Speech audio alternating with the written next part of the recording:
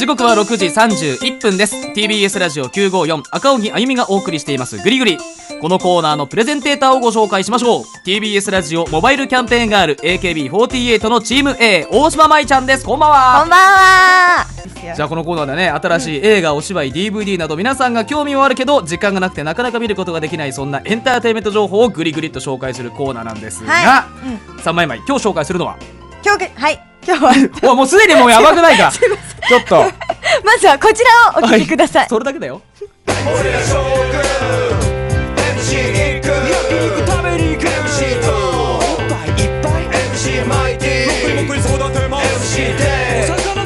俺ら将軍埼玉のラッパーのテーマをお聞きいただいてますが今日紹介するのはこの息のいい曲が主題歌の映画で、うん。一昨日の土曜日から池袋シネマロサで2週間の限定、うん。レイトショー公開中の映画 SR 埼玉のラッパーです。はい、はいどんな内容かはあゆみんよろしくもううんまあいいか、えーこれまでになかった新しい青春ヒップホップ映画、埼玉県の片田舎を舞台に世界的なラッパーを目指す若者たちのどこかおかしくどこか切ない日々を描いています、でレコード店もライブハウスもない埼玉県福谷市。これ福谷市のは架空の町なんですが、はい。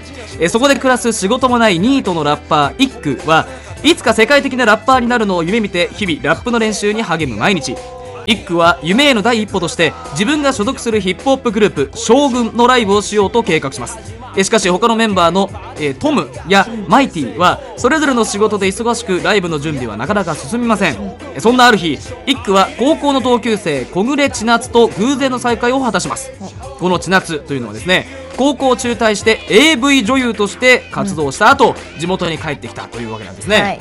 その千夏からバカにされながらも一区は夢に向けて練習に向かうんですね、しかし将軍のメンバーであり先輩ラッパーのケンが千夏をバカにしたことをきっかけに一区はケンと衝突。次第にメンバーはバラバラになってしまいます、はい。仲間を失って世界的ラッパーへの道も断たれた一区が選択する道とは、えー彼は現実に立ち向かい夢を追い続けられるのかというストーリーでしたけども。はい。どうだった？これマイマイ。これね最初パンフレットとか見た時に、うん。ああまりにもくだらない映画ができたんだなって実際思ったんですよね。おおパンフレットで。そうなんか、ラッパーをテーマにしたうん。映画って今までなかったじゃないですか、まあそんななんていうんだ邦画ではなかなかなかったかもね。しかもしかもなんていうんですか埼玉っていうね、うんうんうん。その際どいところを洋画だとねエイトマイルっていうねエミネムがねかっこいいやつね。あああのかっこいいやつね、うん。そうなんですけど、それなんであそっかみたいな。これは緩い感じで見ていいのかなと思ったんですけど、うん。見ていくうちに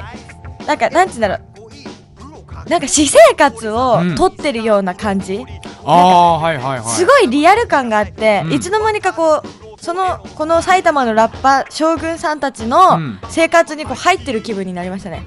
そのなんか突然離陸しだしたりするじゃないですか、うん。ラップを言ったり言い出したりとか、それになんかだんだん乗ってる自分がいた。俺ら将軍みたいな。マジで、はうん、だからあこれ巻き込まれる系？と思って、あはあはあはあ油断して見れない映画でしたね。なるほどね、うん。まあゆったりとしている中にそういうなんかこう自然にね入っていける。そうゆったりしてるからこそ入っていけるのかなっていう部分がありましたね。しかも埼玉で前地元が千葉なので、おう。なんかね変な親近感が湧いてしまったこのこの5人に。あこの6人に。ああそう。う、ん。なんでなんでち千葉と茨城あ茨城じゃない千葉と埼玉っていうことで。はい、なんか埼玉近いんですよ。前に野田市なんて地元から、うん。都内に出るよりも埼玉にいた方が近いんですよ、なるほど。だからなんか親近感が湧いた。そのあの架空の市ですけど、うんうん。なんかあ近いのかもうちとと思った。なんか風景が、なるほどね。うん、レコード店はありますけどね野田には。ああそこは張らなくていいと思うんだけれども。はい。まあ、ちなみにこうねその主人公一区役に、うん。えー舞台を中心に活躍している若手俳優小牧根龍介さんを抜擢、うん。ね、あのもうヒップホップに情熱を燃やしながらもこう未来に迷っている新米ラッパー役を好演していますね、うん。そしてヒロイン小暮千夏役には人気セクシー女優みひろさんですね、うわ。自分の道をしっかり歩む強い女性を熱演、うん。個人的にこれを見た瞬間僕はテンションが上がりました、うん。みひろさんね。続けましょう、はい。えー他にも今後が期待される若手俳優が顔を揃えていてフレッシュな演技を披露しています、はい。で監督は日本のインディーズ界で注目を集める入江優さん、ん。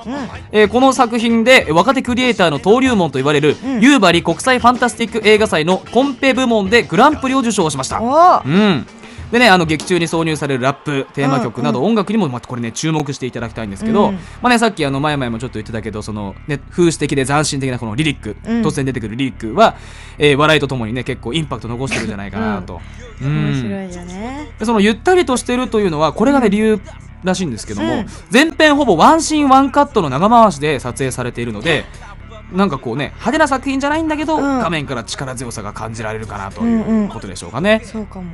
うん、で舞台挨拶もあった一昨日の公開初日は立ち見が出るほどの大盛況でお、えーなんと上映館の池袋シネマロサのレイトショーの初日動員1位を記録しました。すごいねラッパーたち。うん、で予定のなかった昨日もね急はい。遽舞台挨拶を行うほどの盛況ぶりだったと。将軍。ということでございます。ちなみに年間100本の映画を見る男アシスタントディレクター箕輪田君の注目ポイントはお気になる。将軍に曲を提供する伝説の DJTKD 武田さんっていうんですけどねおー。はい。TKD、えー闘病中という設定なんですが、はい。不謹慎とは思いつつかなり笑えるキャラクターだと思いますので見逃さないでくださいと。さ確かにキャラがめちゃくちゃ濃いですね。うん。一すごく。人一人ね。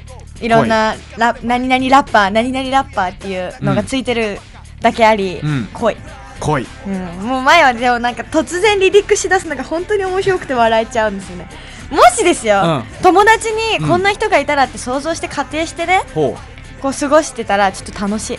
お茶とか見てこのお茶とかやってくれたらうん。楽しいですよね。23日は。う23日か。そうか。あんま持たないな。そうそうそう楽しいと思ったでも。でもその中でうん。どこが一番良かった、じゃあググッときた？なんかみひろさんとの、うん。あのちょっと別れるシーンというか、うんうんうん。見送るシーンもすごく良かったんですけど、ほうほうほまあ、違う意味でグッときたのが、うん。変な壺に入っちゃったシーンがありまして、うん。